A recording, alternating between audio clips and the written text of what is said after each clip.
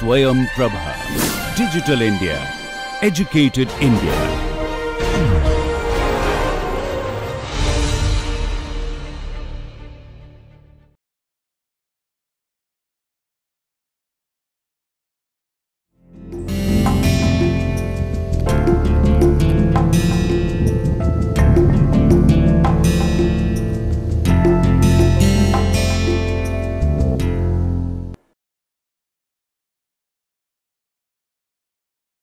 Hello, my name is Professor Dr. Avinash Dadhich. I am the Dean of Institute of Legal Studies and Research, GLA University, Mathura. Today, students, we are going to talk about something very fundamental because we believe that literacy must be in every area. When I say literacy, does not mean that only reading and writing, but literacy can be language, literacy can be financial literacy, uh, linguistic literacy and there is another type of literacy I always call that legal literacy. Do you understand the Indian legal system? Do you understand what is civil and criminal uh, laws in India, how it works in India?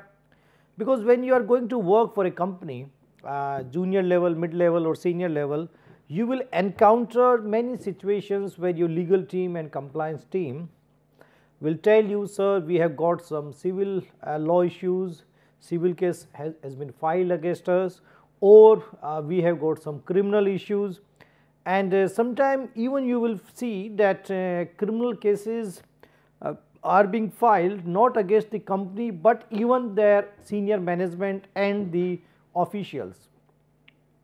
So, then in that scenario uh, an individual business manager or a leader should understand the basics of civil and criminal law and legal system in India. So, in our lecture 4 we will talk about Indian legal system civil and criminal. So, before going to legal system I would like to say few words more about the law and law in general. Why do we have laws? First you need to understand as a, a business person as an individual person that laws are to protect uh, your life when I say life means your body and then law is supposed to protect your property and finally law is supposed to protect your dignity your reputation. Okay. So, these are the three things uh, laws are protecting and uh, when there is a harmony in society where there is no conflict in society we really we really do not need any legal system, but that is not the situation. The situation is that people do fight for over the property, over the money, financial issues and uh, then there are some cases where even the personal life and your body is also uh, under attack. Okay. And what you expect from the state or from the government that when I am a law abiding citizen and if someone is violating my privacy, my life, my property, uh, what can I do? And if the legal system is not able to protect your life, your body and your reputation and privacy, then obviously you have no faith in that particular legal system. Okay. So, and then there is another thing, one is law has to define what is right and what is wrong. In our previous lectures we discussed about ethics, we discussed about moral values ethics and moral values uh, they are also very important no doubt, but they keep changing from one place to another place uh, within India, outside of India and even within the given society uh, people can have different ethical and moral values. So, sometimes it is difficult to understand what is right and wrong in ethics and moral, but that is not the situation with law. When I say something is legal or illegal, you can go and read the text. You can read the law and the law will tell you what is civil wrong, what is criminal wrong. Okay. So, first law defines what is right and what is wrong. Okay. And once it is defined what is right and what is wrong, then issue arises that who will decide that who is wrong and who is right. Okay. First we say what is right, what is wrong. Like for example, suppose if I take your mobile without your permission, Okay. So, first we need to see whether it is right or wrong, whether it is illegal or illegal. So, law will say sorry this is a theft. Okay. Theft without your permission, without your consent if I take your mobile that is a theft. And if I say please give me your mobile otherwise I will kill you that is an extortion. Okay. So, first you have to define a particular act okay, or even omission you know. So, law defines both act and omission. Act means that you are doing something, omission means that you are supposed to do something, but you are not doing. Okay. So, that can be also a legal action. So, first law will tell you okay this is theft or this is extortion. Okay. Then because when something happened in society obviously judges, police uh, they are not there. Okay. It happens maybe in, in a room or somewhere where the uh, legal system enforcement people are not there. So, then you go to a police station and you say okay someone has just stolen my mobile. So, but nobody knows whether it right or wrong whether it is a truth or false. So, the police will do investigation. Okay. Police will do investigation then police will collect evidences and on the basis of their uh, evidence and investigation they will go to court and finally judge will decide whether uh, that person has committed crime or not. Okay. So, this is very complex process sometime, but if you see it is a rational because we really do not know whether someone has committed a crime or not until and unless we give him or her a fair opportunity to prove his or her innocence. Okay. That is very important.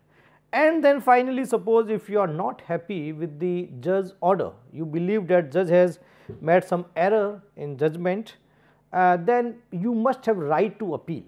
Okay? So, then you go to high court, then you go to supreme court. So, uh, when you understand the legal system, the civil and criminal, then it is easy for you to decide what is right, what is wrong and if someone has taken something wrong against you, what type of legal resources you can take. Okay. So, th this is the background of legal system. It is not only Indian legal system, it is the entire legal system globally. So, let us talk about Indian legal system. Indian laws refers to the system of law which operates in India. So, you need to be very careful when I say Indian legal system means Indian laws are applicable only in India. There are few laws as we, uh, we have discussed, we will discuss, there are some laws uh, which have extra territorial jurisdictions. Extra territorial jurisdiction means like for example, cyber law. So, if someone commits a crime outside of India, someone is sitting in suppose UK and he is hacking an Indian computer or doing something which is affecting the Indian people, in that scenario the Indian government or the police can file FIR against that person okay, and uh, we can uh, start a case against him. But this is a situation with very few laws. Mostly civil and criminal laws are local, local means national. Okay. So, what is legal may not be illegal and what is legal in India may be illegal in some other country. Okay. So, you need to understand uh, when you live in a country that laws are applicable only in that particular country. Okay and there are some international laws, international public law, international private law governed by the United Nations and those laws are applicable on all countries and all individuals. Okay, but that is not the subject matter of our chapter today. So, our laws are basically largely based on English common law.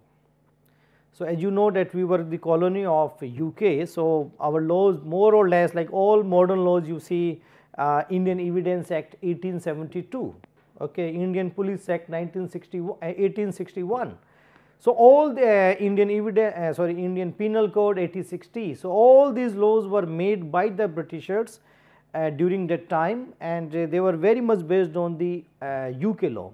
However, we made so many changes in last you can say 150 years. So, we have made so many drastic changes. However, the basic philosophy of Indian law, the basic structure of Indian law, basic reasoning of Indian law is very much uh, based on English common law. Okay. various acts introduced by the British are still in effect and modified from today. Okay. So, those laws are still applicable in India with lot of modifications. Much of contemporary Indian law shows substantial European and American uh, influence. So, contemporary Indian law, when I say contemporary means the laws which we have made in last 20 years, 30 years. So, we have taken a lot of references from America and from other European countries. When I say European countries means Europe minus UK. Okay, so, our laws like even our Indian constitution is very much influenced by American constitution, French constitution, German constitution, Austrian constitution. So, you will find that so many other laws are also influencing Indian law. And there is nothing wrong in it you know. Sometimes you feel oh why our laws are influenced by uh, other countries. This is a natural process because all those countries they started making codification of law written laws in the modern manner uh, before India okay so, uh, if we can learn something from other countries it is fine, but at the same time we need to integrate Indianness and the requirement of Indian society in those laws. Let us see a little bit the history of Indian laws. Ancient India represented a distinct tradition of law. When, say, when I say ancient India means before the Britishers. Okay. India has a historical independent school of legal theory and practice like for example Arthashastra written by Chanakya uh, dating from 400 BC that means like 2400 years back and Manusmriti from 100 AD were influential treaties in India. So, in uh, Arthashastra, in Manusmriti and so many other texts, legal texts our Indian society was governed by these things and they were very much independent from westerners influence because that time obviously there was no uh, westerners influence and even the Roman and the Greek empire or the other uh, Middle East and Mesopotamia, Chinese civilization uh, they had their own system and India got its own system. Okay. So, it was very independent Manu's central philosophy was tolerance and pluralism and was cited across Southeast India. So, we should not uh, underestimate the influence of these uh, Indian law philosophers because during that time India was one of the richest most influential country like for example, if I give the example of Nalanda and Takshila University uh, during the time they were the best universities in the world more than 10,000 students were from across the globe. You know, when I say across the globe from the Europe, from Middle East, from uh, Greece, uh, from China and Southeast Asia, 10,000 students were studying in those universities, more than 1,000 or 2, sorry 2,000 professors were teaching in those universities and in those universities they used to teach philosophy, law, mathematics, medicine, religion, everything. Okay. So, you can see that our uh, Indian legal philosophers and the policy makers they had lot of influence even in Southeast Asia. So, source of law. So, the primary source of law in the enactment passed by the parliament or the state legislature. So, we have different types of source of law where source means where the law is coming from. Okay. So, the first is uh, the laws enacted by the parliament at the central level or laws enacted by the state legislatures as well as we have given some power to some local municipalities also. Okay. So, those people they are they, they are empowered to make laws okay. and that is their job also. Legislature means the politicians. The main job of politician is to make laws and the job of executive, the bureaucrats, government officers, their job is to implement that law and the job of a judge or a judiciary is to interpret the law. If there is any conflict in the law, uh, if there is a um, different interpretation of law, you know interpretation is required that uh, what does it mean basically if we want if suppose if there is a law and two parties are fighting. So, that is not job of executives to tell them what is the interpretation of law then they will go to the court and court will tell them in high court and supreme court that this is the meaning of law and as per their interpretation they will decide. Okay. the president and governor have limited power to issue ordinances. So, when I say limited power means that president and governors they can issue any they can make a law through the ordinance.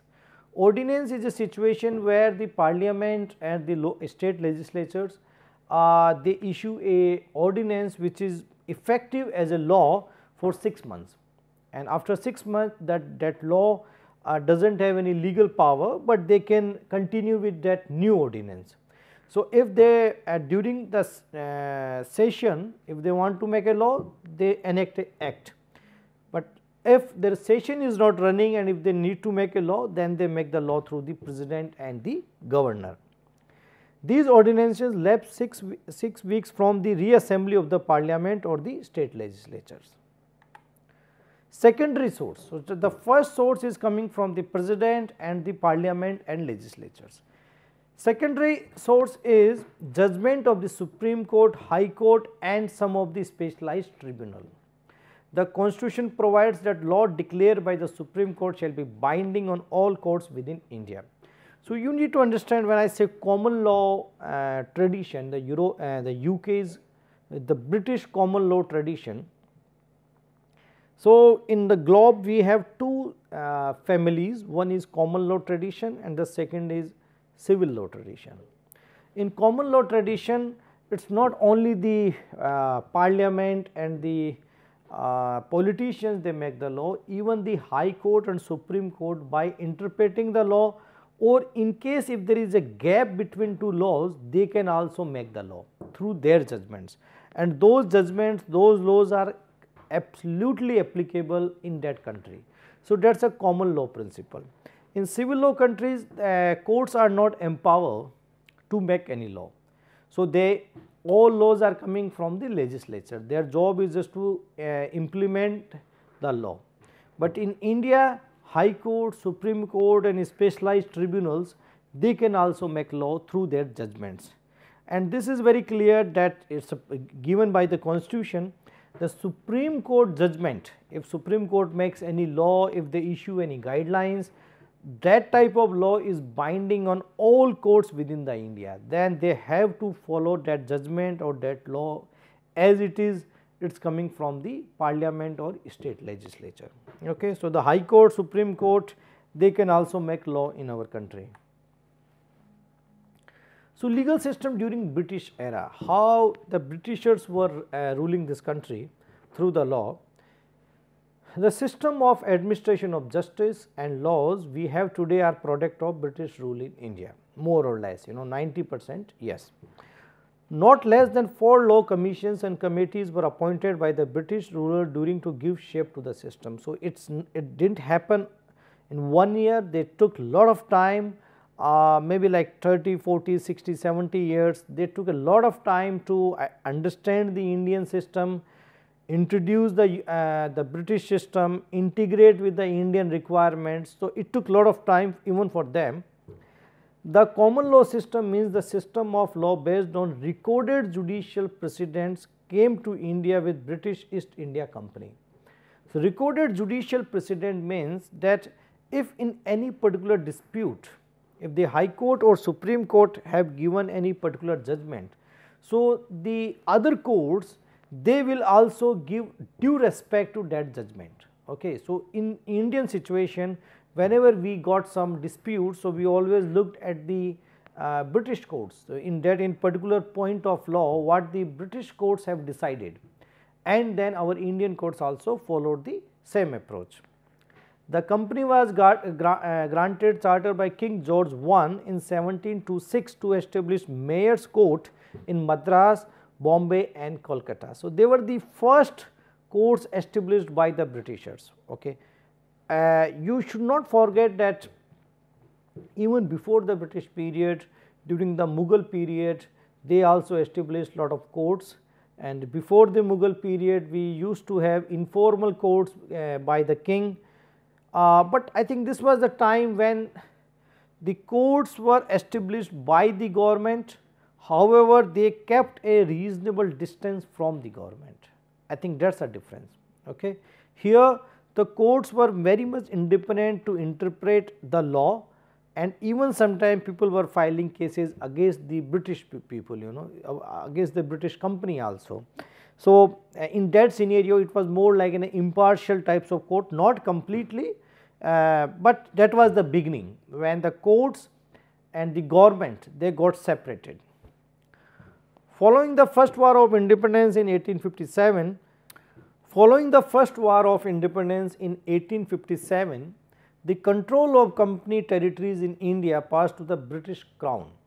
The next big shift in the Indian legal system was to establish the Supreme Court replacing the existing Mayor's Court. So, that was the big change in Indian legal system after the 1857 when the British government decided that now the company will not run the uh, Indian territory and it will come under directly the British crown. So, instead of continuing with the mayor's court and they established Supreme Court in India.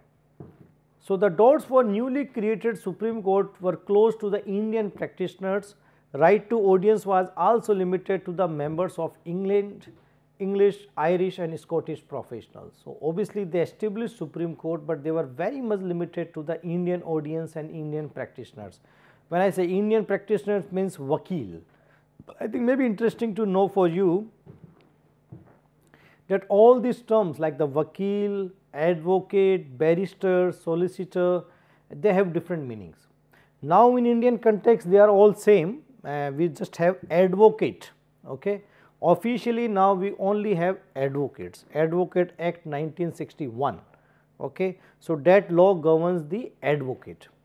Now, there is nothing called vakil or a solicitor or barrister in India.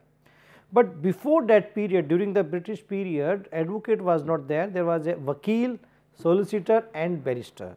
So, vakils were Indians basically they got education in India, legal education in India and they were entitled to practice only to lower courts.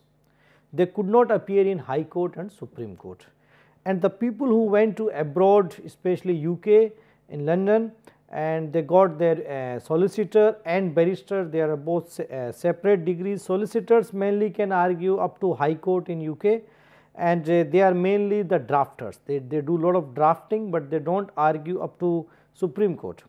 Barristers they are mainly uh, arguing counsel. They argue in the supreme court of UK and they also do drafting.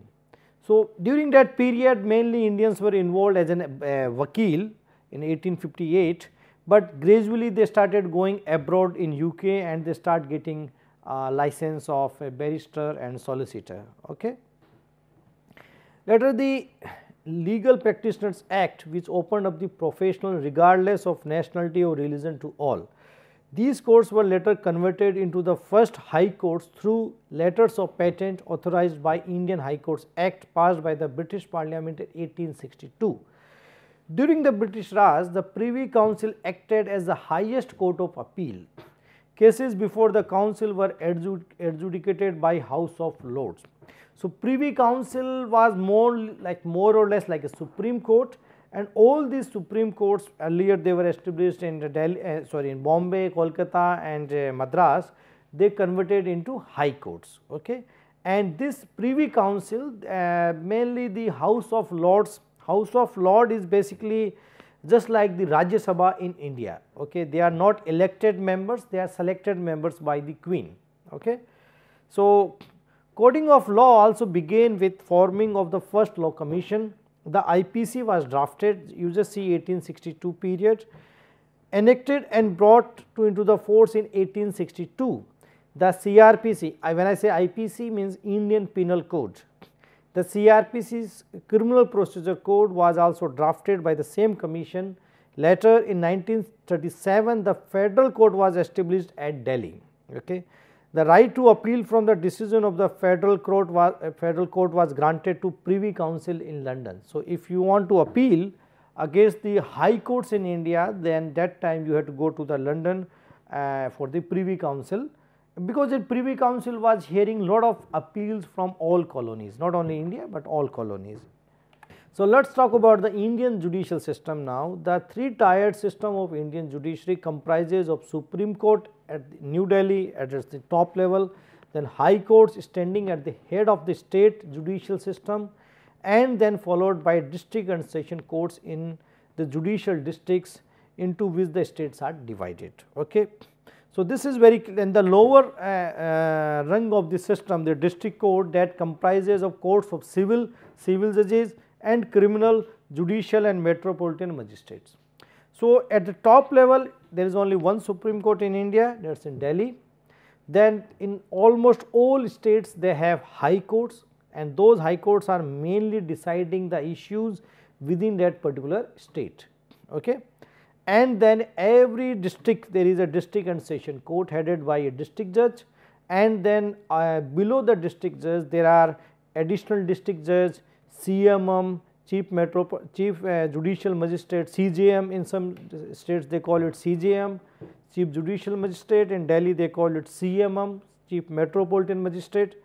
And uh, then below CMM there are um, MM metropolitan magistrates. Or in uh, states we call them uh, judicial magistrates okay and then we have divided their work into civil judges and criminal judges. So, this is how the entire Indian judiciary system works.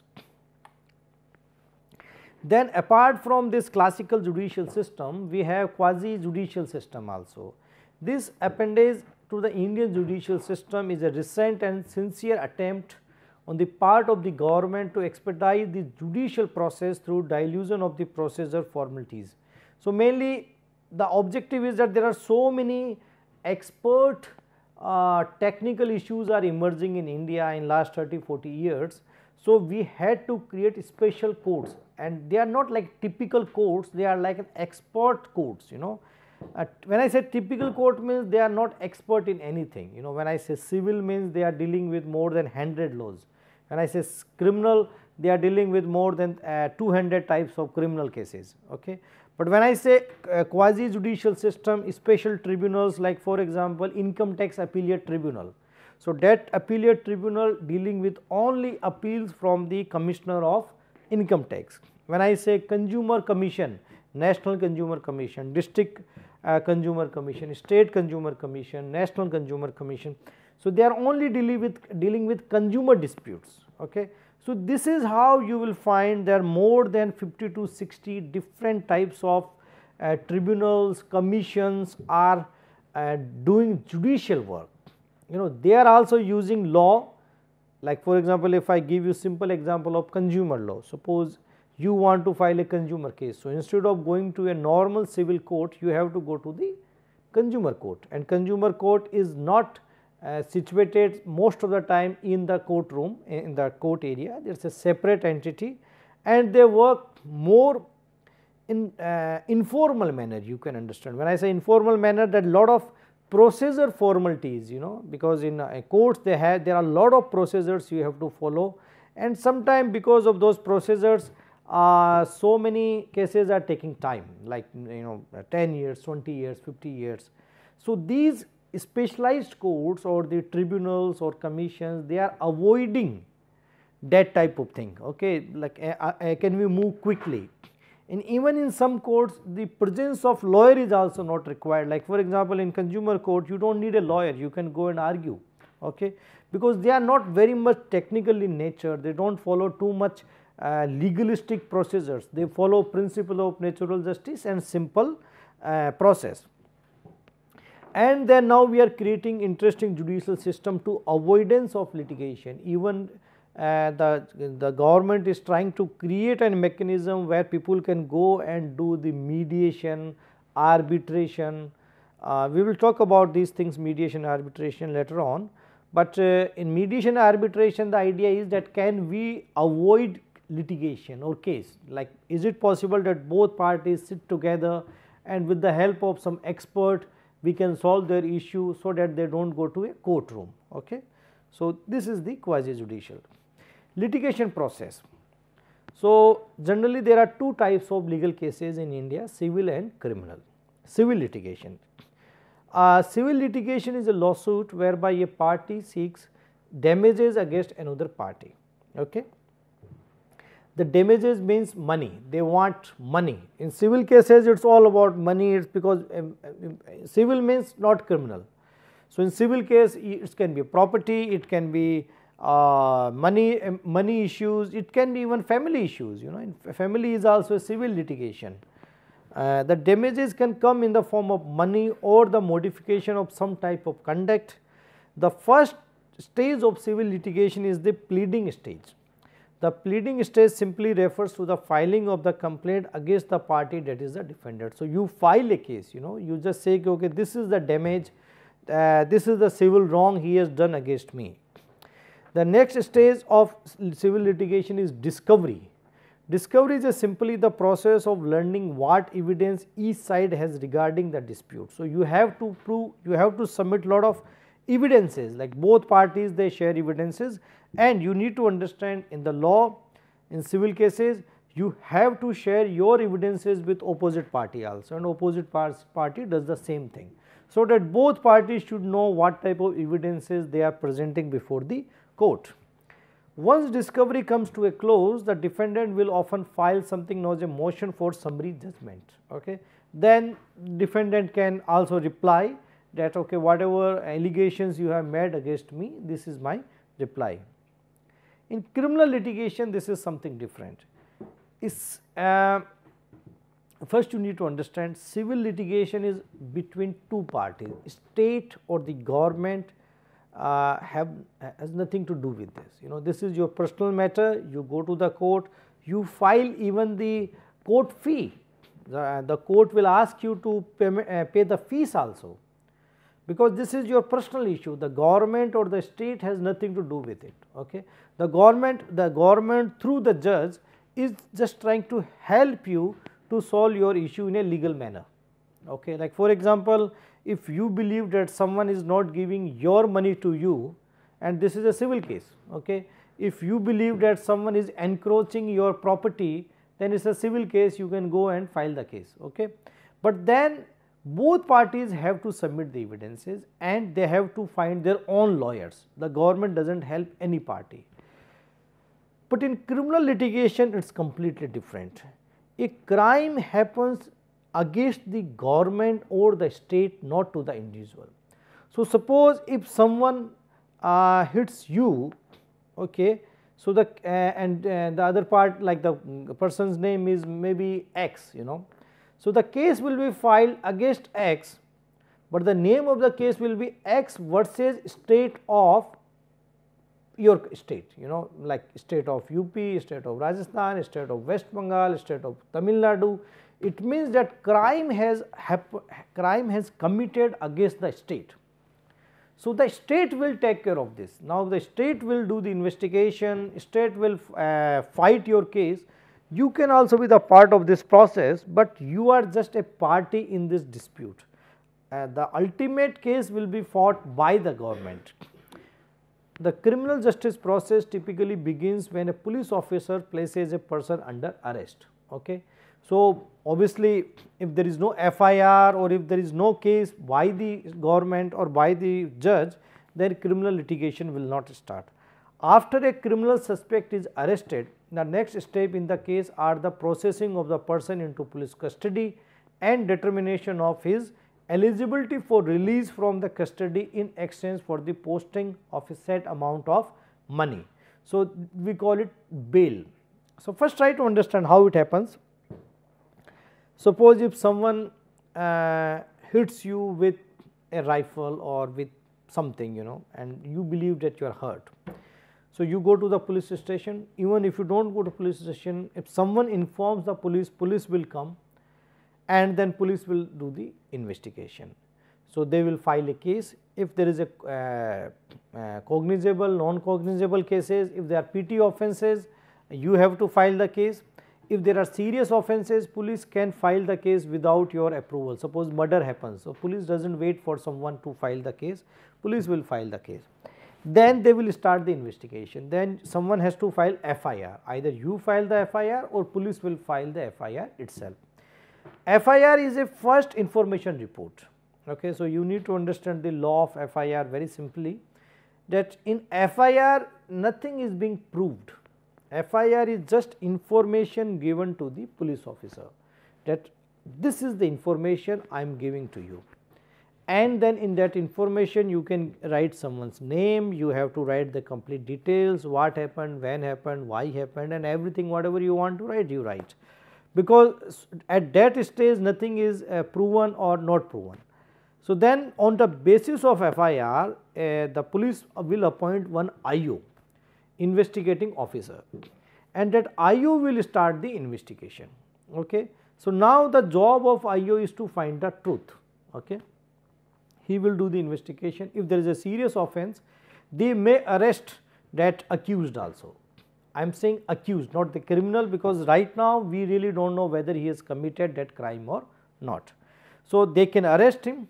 If they arrest him, then they have to present that guy before the judge within 24 hours that is written in the constitution of India. They cannot detain him in the police station for more than 24 hours. Within 24 hours and when 24 hours starts because whenever they arrest him they have to enter into the police diary. Okay. In the police diary every day they have to maintain a diary in a police station. So, any in or out whatever happens in the police station they have to mention in that diary. So, in that diary if they mention that we went to there and we arrested that person at 11 am, it means that next day by 11 am that guy must be before the magistrate. Okay. So, sometimes they do that they do not mention in the diary they mention after some time. So, I am just giving this, this, this thing because you can use that resources you know that within 24 hours they have to present because only magistrate or judge can decide whether that person should be with police officer or in the jail. Right now investigation is under process, we really do not know what happened, police is doing investigation, but we have arrested that person because we believe that police needs to do proper interrogation from him, okay. police needs to uh, ask him what, what, how, where. So, he needs to be in police custody but then the judge will decide whether that guy will be in police custody we call it PC or the JC the judicial custody. If the judge believes that this person does not need to be with the police officer then uh, okay. When that accused is presented before a magistrate within 24 hours a magistrate uh, gets three option. First option they can say okay this guy can go to jail he is released on bail. Bail means that there is nothing to worry, you uh, deposit some money like the FD or anything, any property and you can go to home because the investigation under process and you please cooperate with the police officer whenever they ask you to come, okay. that is a bail. Second option they say okay police says now we want this guy in our custody because we want to interrogate him. So, the magistrate can give that guy in the police custody for maximum 14 days, not more than 14 days. After 14 days again they have to come uh, to the magistrate and ask for the another round of police custody. If the magistrate says okay still you need I believe it is required then he allows police custody for another 20, uh, 14 days. Or magistrate believes that no police custody is not required. In that scenario uh, no bail. If he feels no uh, we cannot give him bail because he will uh, he can destroy some evidences or he can influence evidences the people. In that scenario magistrate can send him to JC JC is judicial custody that we call it jail so he can go to the jail and he will stay in the jail and after every 14 days he will be presented before the magistrate and magistrate will again take a call whether he will be sent to the bail or PC or JC. Okay. So, this is how it works. Okay.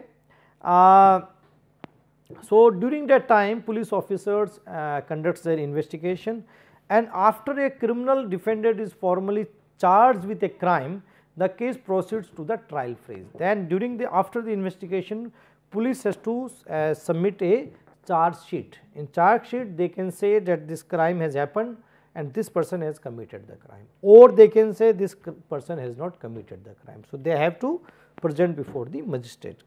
After a defendant is convicted or plead guilty, I will explain you what is plead guilty. Uh, a judge will decide on the appropriate punishment or sentence during the sentencing phase of the criminal case. Sentencing of a criminal can, can range from prohibition and community service to prison and even the death penalty. It depends on the uh, punishment given in that particular section. So, when you read a section under IPC, IPC tells you what is the crime like uh, uh, defining the crime what is theft and then uh, then they will tell the punishment also that up to 7 years, up to 2 years, up to 10 years. So, they will tell the range also of the punishment that if someone commits a crime he can go to jail uh, up to this period okay, or fine or both. Okay. So, there are three options for a magistrate. Indian criminal law is the law relating to criminal conduct in India. Okay. If you if you uh, commit a crime outside of India, Indian courts cannot trial it. Okay. So, if you do any crime in Nepal and if you are in India, the Indian courts have no jurisdiction. Then the only option that Indian courts can deport that person if the Nepalese government want then they can deport that person the guy will go to Nepal and then case will run in Nepal only. Same thing with Indians if they are outside of India uh, uh, yes if they have committed a crime in India yes they can trial uh, start the trial even without their presence. But if that guy has committed a crime outside of India and living in India uh, Indian court cannot conduct a trial. Indian criminal laws are divided into three major states the Indian Penal Code, Code of Criminal Procedure and Indian Evidence Act. Besides these three major acts, special criminal laws are passed by Indian parliaments like NDPC that uh, deals with the drugs, Prevention of Corruption Act that deals with the corruption and the investigation by the CBI, Food uh, Alteration Act, Dowry Prevention Act and so many like more than 200, 300 types of laws deals with the criminal activities. So, IPC provides a penal code for all Indian including Jammu and Kashmir where, where it was renamed the uh, Ranbir penal code earlier, but after 370 now there is only IPC. Indian code was IPC was passed under the chairman of Lord Macaulay and was enforced in 1862. So, Lord Macaulay not only enacted the Indian education policy, but even the Indian penal code. Lord Macaulay uh, issued clarification for the people for India implementation of this code because people were of the view that the rule of capital punishment will be misused against them. The, uh, so, the code applies to any offence committed by an Indian citizen anywhere and on any Indian registered ship or aircraft. Anyway, this came to force. It has 23 chapters and 500 sections. It covers any Indian citizen or a person of Indian origin. The provision of this code applies also to any offence committed by any Indian citizen of India in any place without and beyond India, any person or any ship or air, aircraft registered in India where it may be any person in any place without or beyond India committed offence targeting a computer resource located in India that is a cyber crime. Okay. So, if you do a cyber crime outside of India targeting India, they can file case against you. Okay. Stages under idea uh, IPC that if uh, IPC means crime. So, first you have an idea that I want to kill someone. Okay. So, that idea itself is not punishable.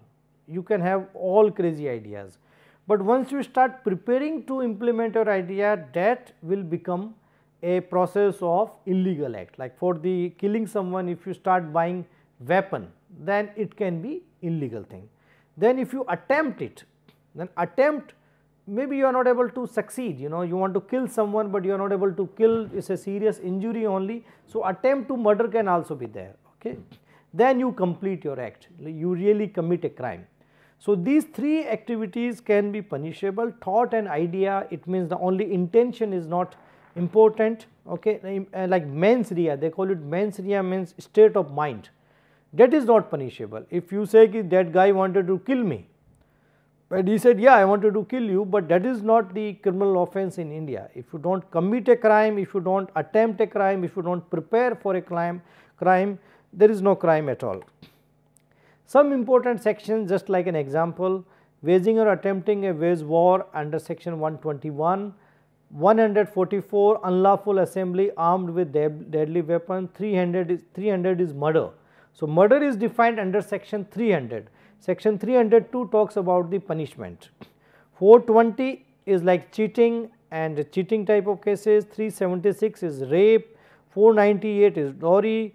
So, you can see when you read IPC, you can clearly see crime against property, crime against person, crime against state, you know. So, you will see all different types of categories of crime and you can understand and read very carefully. Even they have given illustrations also like to explain a particular crime they will give they give some examples. So, if you read those examples you can understand very well whether uh, this particular act is crime or not. Let us move to the criminal procedure code. The criminal procedure code is important once we define that someone has committed a crime, but how to run the trial, how police will do investigation because we cannot give absolute power to police and judiciary because then they can abuse it. So, we have created some rules for the police and for the judiciary that how to do investigation and how to run a trial. So, the CRPC is the main legislature on procedure for administration of substantive criminal law in India. It came in uh, 1973 and 74. It provides machinery for the investigation of crime, apprehension of suspected criminals, collection of evidence, determination of guilt or innocence of the accused person and the determination of the punishment of the guilty. At present, the Act contains 484 and 56 forms. The sections are divided into 37 chapters. So, recent procedure like recent changes you can see uh, plea bargaining is included in criminal cases. So, pre plea bargaining was introduced in India 2005. This affects cases in which the maximum punishment is for 7 years. So, what is plea bargaining? The idea is that if you believe that you have committed a crime and you do not want to go for a full trial because you know that you have committed a crime and you want to admit it so that you get less punishment. So, before the trial commence if you do and do a plea bargaining you plead guilty yes I have committed this crime I am very sorry for that then in that case the judge can reduce your penalty. Okay. So, this is a good a win-win situation for both if you believe that ultimately you are going to suffer. So, it is good to suffer right now rather than the double or triple. So, in some cases even the judges ask them to leave just you know paying some amount or some minimum uh, penalties. However, offences affecting the socio-economic conditions of the country and offences commi committed against a woman or a child below the age of 14 are excluded. If you do any such type of crime, crime against woman or child below the age of 14, in those offences you cannot commit the plead guilty. Okay. So, plead guilty is not possible in all types of crime, but in some crimes you can do it. So, you have to see whether a particular offence is eligible for plead guilty or not. The next one is Indian Evidence Act. Now, what is the role of Indian Evidence Act? How a judge will decide whether a person has committed a crime or not. Okay. So, there has to be some rules to understand the evidences available to the judge. Judge cannot decide arbitrary what is admissible evidence, what is not admissible evidence. Okay. So, there are different categories, different level and the value of evidences under uh, section 18 uh, sorry uh, law Indian Evidence Act 1872. So, Indian Evidence Act originally passed in India by the Imperial Legislative Council in 1872 governing the British Raj contains a set of rules blah blah blah and so 11 chapters 167 sections and came into force on 1st September 1872 it is applicable on all part of India and it applies to all judicial proceeding in or before any court including court martial. So, this is very very fundamental very important law you need to understand evidence law very carefully. Like for example, there is a provision in Indian Evidence Act that any statement or any confession given to a police officer is not admissible in the court. Why? Because it is written in Indian Evidence Act. You know, it's the judge has no power to decide whether you know you have given some confession or the statement to the police officer that you have committed a crime. If you signed any document in the police custody that's that basically that has no value in the eyes of law in the courtroom. So, you will find there are different rules, regulations, sections relating to evidence act. And evidence act is very crucial because at the end of the day judge will decide whether you are guilty or not guilty or you have taken money or not, you have some civil liability or not, everything will be based on the evidence. Uh, Sometime maybe it is against the justice system, when I say justice means like the ultimate truth, but uh, as you can understand very clearly that judges are not present everywhere. Okay.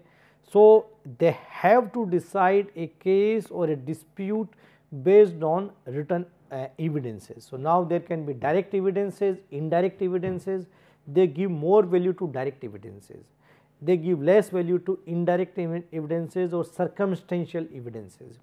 So, judge has to apply his mind whether a particular law uh, is satisfied with this evidence or not but not to affidavit present to any court or officer and not to proceeding before an arbitrator.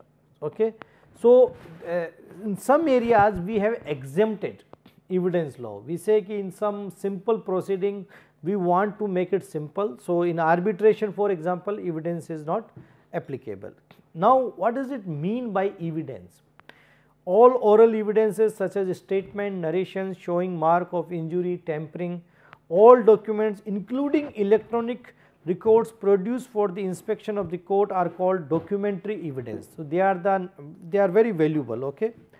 and then uh, the first one in case of oral or documentary evidence documentary content in electronic form is also tenable by the court. If, if there is a dispute between uh, oral or documentary evidence the judge will give more value to documentary evidence than the oral document like oral all facts except the content of the documents may be proved by oral evidence. Suppose like the oral evidence you say that this guy uh, asked me that he will return uh, my 10 lakh rupees after 6 months. This is an oral and now I am bringing maybe two uh, independent witnesses and they say yeah we were present there. So, this is oral evidence. But if you can produce a document like an email where that guy is writing very clearly or maybe he is signing a document uh, that he is saying that yes I will give you 10 lakh rupees after 6 months. Okay. So, in that scenario this oral uh, um, evidence will have less value rather than the documents. But in the absence of uh, documentary evidences or that the direct evidences we have to rely on indirectly evidences like the oral evidences or circumstantial evidences. Then civil procedure code, the way criminal procedure code regulates the criminal proceeding. In the same manner, the CPC civil procedure code 1908 uh, regulates the civil cases, you know civil litigation. So, the civil procedure code regulates the functioning of civil courts. CRPC regulates the criminal courts and the police. The code of CPC is a procedure relating to administration of Indian civil procedure. A study of civil procedure is a study of procedures that applies in cases and not in criminal. They are, they are purely for civil cases. Civil trials can be used by anyone to enforce, redress or protect their legal rights through court orders and monetary awards. Okay. So, through the civil trials you can protect your property okay, or uh, you can even go for monetary awards also like someone has done something wrong against you then you can go for the compensation under the CPC. It lays down procedure of filing the civil case, power of courts to pass various orders, court fee and stamps involved in filing of cases, jurisdictions and parameters of civil courts functioning, specific rules for proceeding of a case, right of appeal, review or reference. So, as I told you that civil cases are purely between two parties and judges are just acting to resolve that issue, but it is a very complicated. So, in that scenario the CPC tells about the jurisdiction of the court that who will decide what you know and the appeal procedure, reference procedure, review procedure, how to file a case, how much court fee is required to pay. The entire civil litigation procedure is governed by CPC civil procedure code. it lays down the procedure of the filing the civil case, procedure of court to pass various orders, court fee and step involved in filing of the case, rights of the parties to the case like the plaintiff and defendant, jurisdictions and parameters of civil court functioning like you, eh, like up to this level you can go to this court, above that level you will go to that court. So, you will everything will be decided by the CPC. Recent trend in law like mediation and conciliation encouraged. So, like instead of going for civil cases, why do not you sit down and solve your cases, you know your dispute through some expert mediation and conciliator. So, that happens within the guidance of the court, but that is not a litigation. Okay. Number of adjournment and government is trying to restrict that uh, adjournment is basically a party is going and saying that I need more time to present this uh, document that present my uh, family is not feeling well some you know excuses good or bad this is how they prolong the civil uh, litigation. So, government is trying to put only 3 adjournment on each day. Service of summons by another means or now the summons is a very tricky issue to issue uh, uh, issue the summon in India so, you can the courts are issuing someone through the WhatsApp through email also. Evidence by way of affidavits and time limits to pronounce judgments. Okay. So, these are the new developments which we are uh, seeing in uh, uh, thing and then finally new trends in judiciary computerization of courts scope of PIL is, PIL is being limited public interest litigation it is not like that anybody can go and file the PIL for everything. Now, the Supreme Court and High Courts are restricting the limits of PIL. Judiciary has become more open. Concept of justice at doorstep encouraged Lok Adalat where so many petty issues are solved by the courts and administration on Sunday in a very relaxed environment. Special courts to dispose of petty offences and evening courts started in many states. So, that um, more and more cases can be decided quickly. Okay. So, this is all about I believe that civil and criminal what I am trying to say final thing that as a business student, business manager if you understand basics of civil and criminal court, civil and criminal laws, the procedure then you can talk to your legal manager and compliance officer more effectively in your professional life as well as your personal life. So, knowing the law, knowing the system, knowing the procedure will help you to become more empowered, knowledgeable citizen and smart employee to protect the interest of your company. Thank you very much.